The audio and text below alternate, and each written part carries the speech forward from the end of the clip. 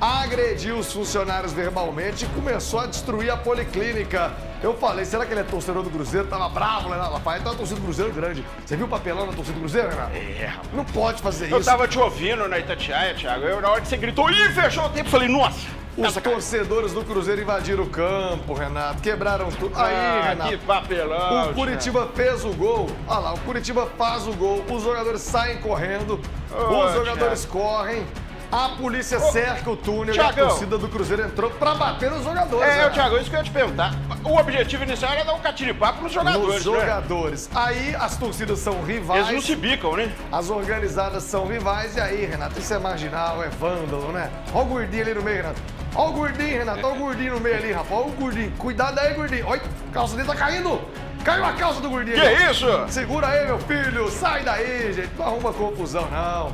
Ó, Ah, corre, Magrelo. O Magrelinho correu. Ui, a bomba, Ó ó. a bomba aí. Agora... co- Ih, fechou o tempo, Renato. E a polícia chegou lá e Ah, aí o choque o chegou. cantou, né, Thiago? Quando o choque entra, né, Renato? Aí não sobra um corajoso. Você Olha sabe os que o choque não olha os perde corajosos, olha os corajosos.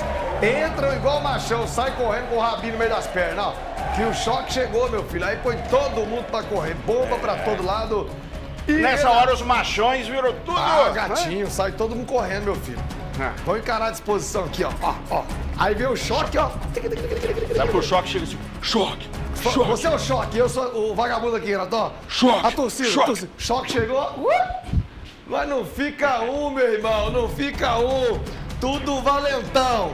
Valentão aqui, ó, com os outros lá. Bate ninguém também, fica lá só assim, ó. ó, ó, os aí lá.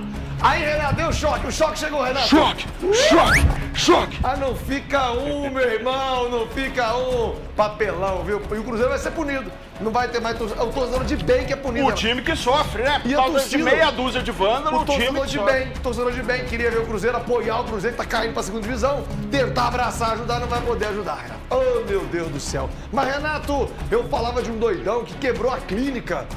Lá em Lafayette, ele surtou na rua, Que isso? entrou na clínica. Que isso, Thiago? De madrugada. E olha aí, Renato, Ele a tá dando, é, policlínica. o que, mochilada? Parece uma mochila.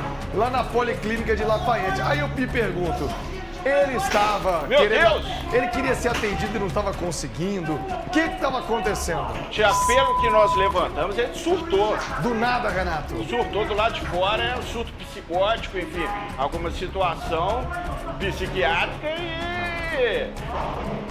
quebrou tudo mesmo. O Renato, infelizmente, é muito mais comum do que a gente imagina, né, Renato?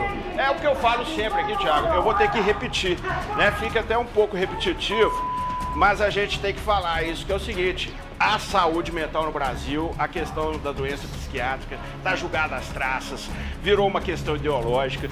Aí a ciência, o pragmatismo foi julgado para debaixo do tapete. Aí ah, não pode internar. Aí fica dessa situação. O cara não tem o tratamento, a rede pública de saúde não consegue dar o tratamento adequado.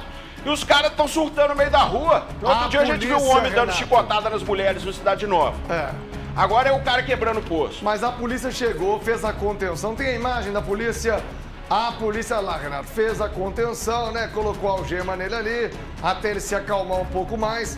Mas tava doidão, Renato. Tava muito doidão, ó. Ué, que isso? Ah, meu Deus. Aí parece que a céu. adrenalina baixa, né? Ah, quando vê a polícia, o surto acaba na hora, né? Eu falo sempre, surta com mulher, surta pra quebrar as coisas, mas vê o chefe, é a mesma coisa lá dos machão das torcidas organizadas. Pra bater nos outros é uma beleza. Viu a polícia, fica tudo pianinho. É, mas tem uns que parte pra cima da polícia também. Aconteceu no Parte Vale do nada. Aço recentemente, você não Ô, lembra? Renato, você vê, ó que você vê, meu filho, arrotando, não tem, aí quebrou a clínica toda. Quando vê uma É. E o viatura prejuízo pros cofres Não públicos? quebra uma viatura, não tem um surto com a viatura da Rotan, não tem um surto com a viatura do choque, não quando- tem machão pra brigar com o batalhão. Entrou o choque, você viu? Sai todo mundo pianinho. Quebra a clínica, não tem mulher, atendente, tá? quebrou tudo. Por que, que não foi na academia, pega uns doidão lá bem bombadão? Quebra? Não entra.